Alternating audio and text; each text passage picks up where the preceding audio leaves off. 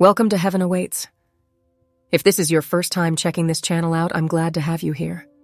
My name is Jen, and I will be filling in for Lee until he comes back.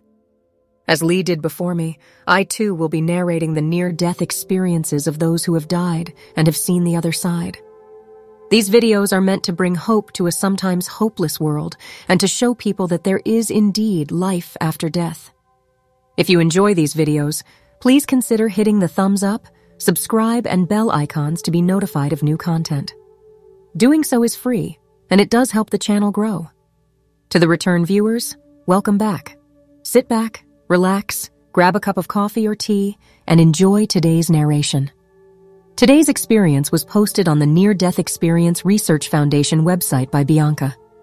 After a severe allergic reaction to nausea medication, Bianca dies and finds herself in a peaceful place, and then finds herself outside of her body witnessing multiple things happening around her. She then says that she saw her uncle who had passed on long ago, who gave her messages to give to her family.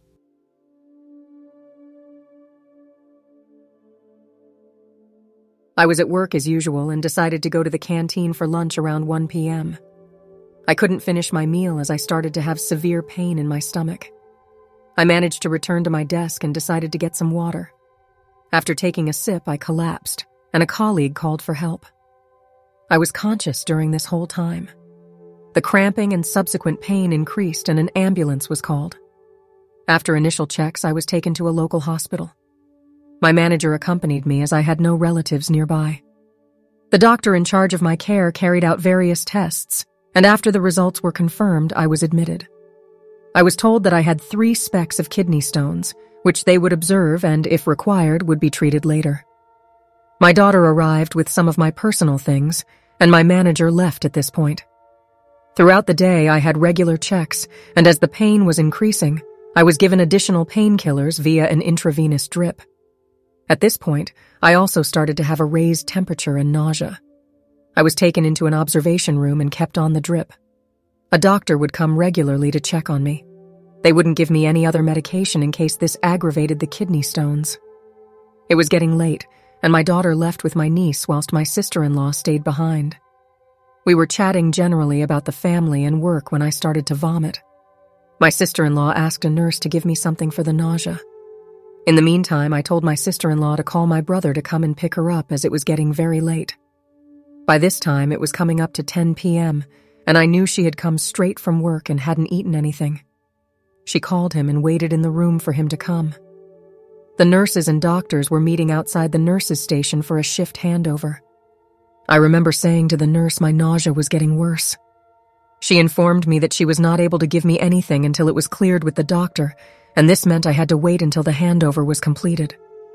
At about 10:15, the doctor who had been treating me during the day popped his head into the room to say he was leaving and wished me well. He had instructed the nurse to give me anti-nausea medication via the drip, which would help ease the nausea. My sister-in-law was standing to the right side of me, and the nurse started to inject the medication into the drip line. While she was doing this, I turned to my sister in law to tell her that it was okay for her to go, as my brother had phoned her that he was parked downstairs.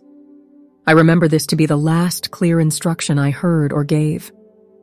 Slowly, my eyes began to draw closed and I felt heavy and my breathing was getting slower. I felt limp and unable to move at all. I was extremely heavy. I remember me being pulled away out of the bed, but my physical body was lying limp. At this stage, I could still hear everything but could not acknowledge or move. I can see the nurse pushing the alarm, but not with my eyes. It was as if I was looking at her from somewhere else. It wasn't working, and she was screaming at my sister in law to go to the room next door and push the alarm. I remember the nurse trying to give me oxygen, but the equipment was faulty.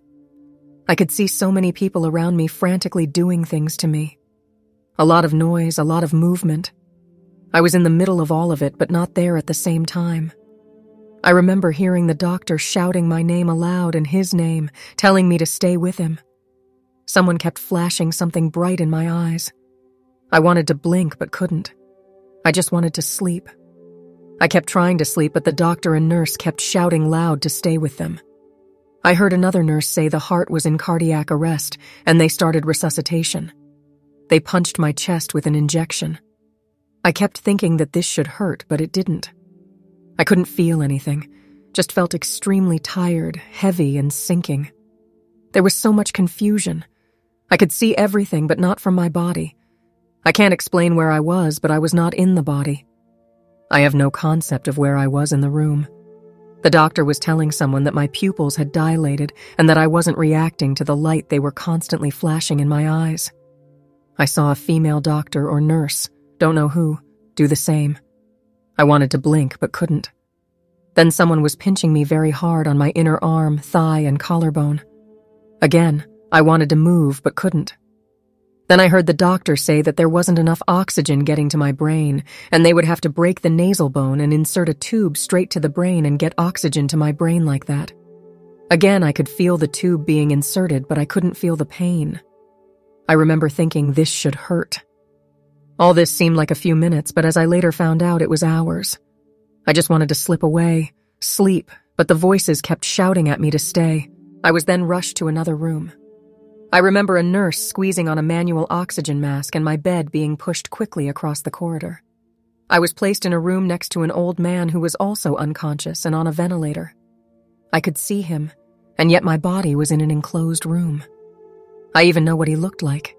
He was mid 60s, had a lot of silvery gray hair, tall and lean with stubble. He smelt of alcohol. I saw him lying with the tubes coming out of him. A few moments later in my own room, I could hear the doctor saying they would try one last time and arrange a CAT scan, as there still was no brain activity. At this point, I went into the sleep. What happened next is very surreal for me. I am lying in a kind of bed. Everything around me is extremely white and bright. I'm in a room but without walls or windows. There is a door but not a structure. I can't see it as a door, but I just know it is. I am looking outwards toward warmth. I don't know if it is the sunshine or the brightness of the light. There is complete peace, absolute peace. There is noise, and again, no noise that I recognize. I am so relaxed. I have no fear at all. I can smell or sense an overpowering fragrance I never experienced before. So sweet that there is nothing that I can compare to this world. I am looking at the hills, and yet they were not hills as we see here. Endless space, Endless brightness, no horizon, no depth, no structure as such. It was a nothingness and something at the same time. I wanted to stay forever here. I didn't have memories or thoughts, just sensed things. It was just so tranquil. There was lasting peace. Nothing solid, just emotions. I was lying on a bed, but it was not a bed as such, but some sort of a buoyant platform. I had no fear of anything whatsoever. On the end of my bed was my uncle standing with a walking stick. He looked exactly as I remembered. I lived in a joint family for most of my formative years with this uncle and his family. When I was one year old, my parents had my brother who was born very prematurely. In those days, children in this condition were less likely to survive. My mother was preoccupied with my brother's care in the hospital for a long time leaving me in the care of my grandparents, auntie and uncle, and family. My bond has always been very strong with both my aunt and uncle. We separated for a few years and reunited under one roof again when we moved to the UK. We carried on living together for four years until separating again when the families were too big to be living in one house. I still shared that bond with my uncle, aunt, and grandmother. Even growing up, I always turned to them for my needs before my parents. Over the coming years, we saw little of each other. I was married and moved away, and they got on with their lives. My grandmother died in 1997, my aunt died of cancer in 2003, and my uncle died in February 2008, the same year I had my experience. My uncle died after experiencing a fall at home and subsequently falling into a coma. The incident was very unpleasant as his family and mine were not talking to each other. My father, his only living relative was barred from seeing him in the hospital, and after a lot of painful confrontations, my father was allowed to visit him. During the last hours of his life, I was at his bedside, and ultimately when the life support was turned off. I was standing with all the family by the bedside, watching as his life was slowly withered away. I passed out just before he was pronounced dead, and so was not actually there when this moment had come. It was a very unhappy, confrontational episode which left a bad experience for all. My father and uncle had been through a very tough childhood and only had each other for support. My grandmother went blind when my father was two and my uncle was five.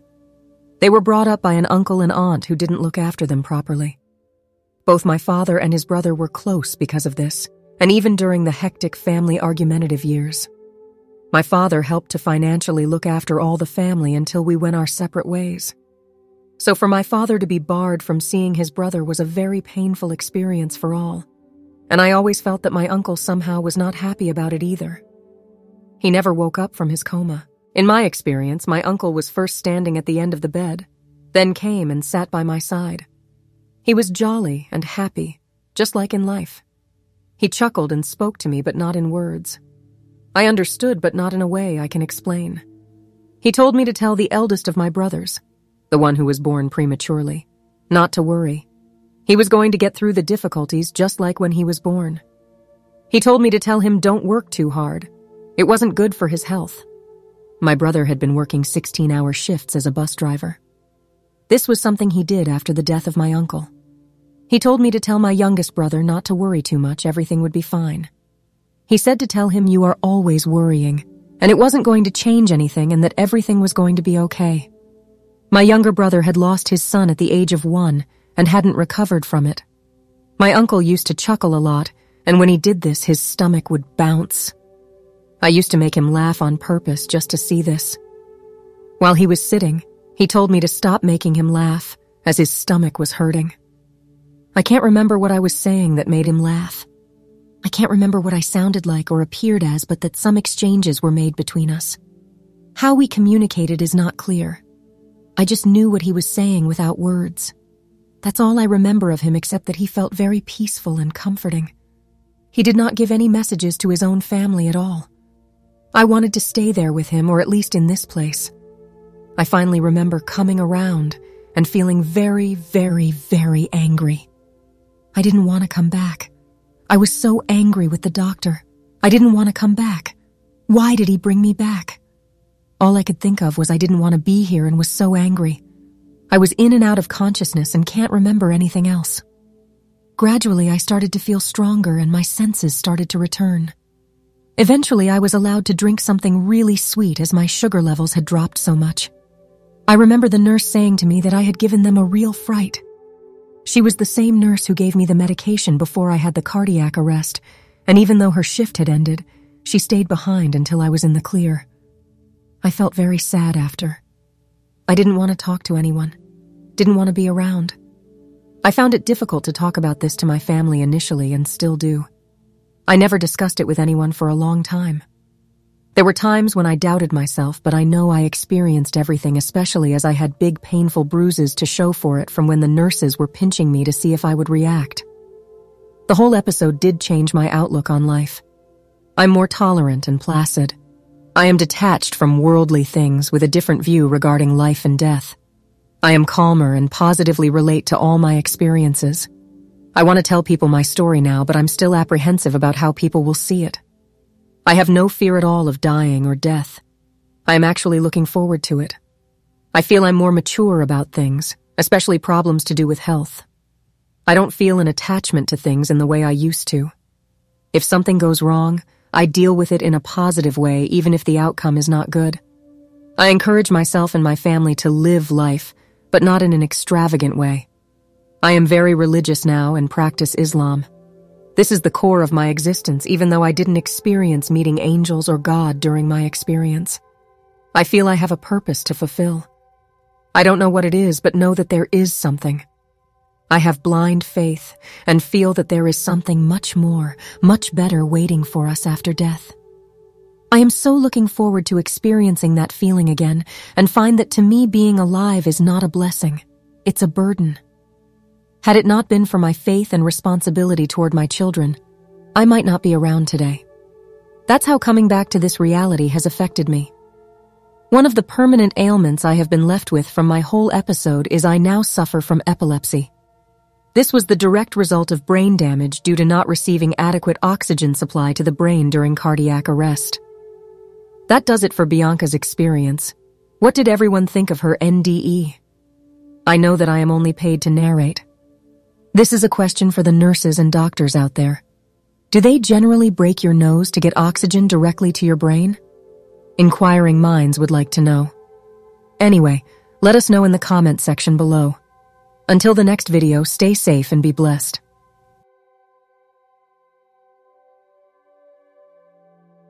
Thank you all for staying for the shoutouts to the channel donators, as well as the shoutouts to those of you who watch these videos. Let's get started. Jesus Salvation. Love your work. Thank you so much.